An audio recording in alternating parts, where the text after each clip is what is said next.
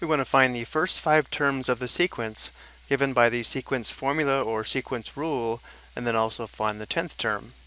So if we're given a sequence formula, as we are here, we need to remember that a sub 1 is equal to the first term in the sequence, and therefore n is equal to 1.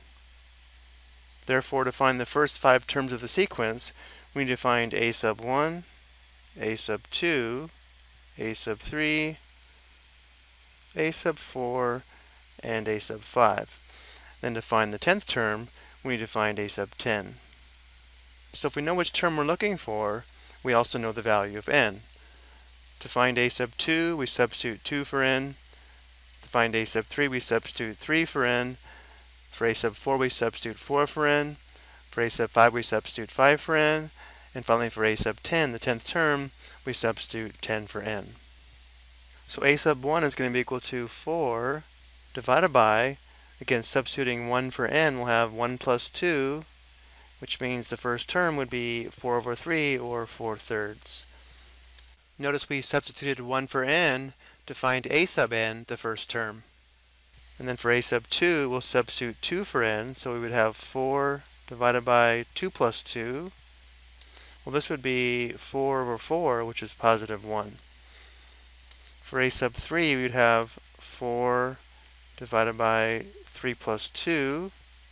Well, 3 plus 2 is 5, so we have 4 fifths for the third term. And for a sub 4, n is 4, so we have 4 divided by the quantity 4 plus 2. This would be, what, 4 sixths, which simplifies to 2 thirds. Our fourth term is 2 thirds. And then for our fifth term, we have 4 divided by the quantity 5 plus 2. So we'd have 4 over 7, or 4 sevenths for the fifth term.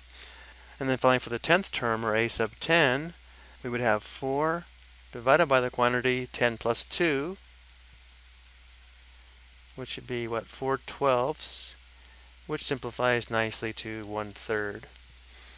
Let's go ahead and give this as a list. So again, our first term is 4 thirds. The second term is 1. Third term is 4 fifths. Fourth term is 2 thirds. Fifth term is 4 sevenths. We didn't find the sixth, seventh, eighth, or ninth term, but the tenth term is 1 third, and the sequence would continue. So finding terms in a sequence, given the sequence formula, is the same as evaluating a function. It's just that the result is given as a list of terms. Okay, I hope you found this helpful.